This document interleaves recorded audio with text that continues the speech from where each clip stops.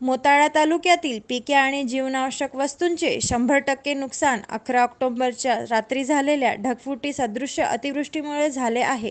प्रत्येक घरात पाणी घुसल्यामुळे जनजीवन विस्कळीत झाले आहे. कपाशी तूर मका सोयाबीनसह जीवनावश्यक वस्तूंचे पूर्णतः नुकसान झाले आहे.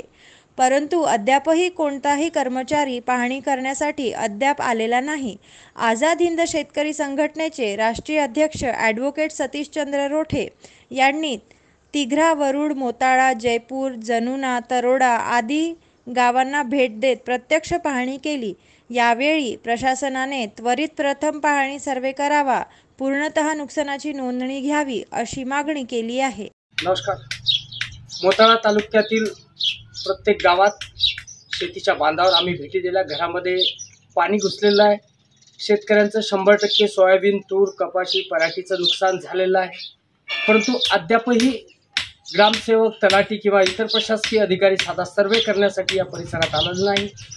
शेतकऱ्यांचं जीवनमान सध्यासाठी विस्कळीत झालेलं आहे.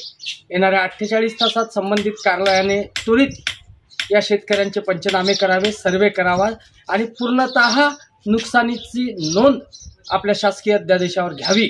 अन्यथा अठ्ठेचाळीस तासाच्या नंतर आझाद हिंदच्या वतीने पडझड झालेल्या नुकसानीचे साहित्य घेऊन आम्ही संबंधित कार्यालयात टाकू ही विनंती वजा इशारा आम्ही या माध्यमातून प्रशासनाला देत आहोत.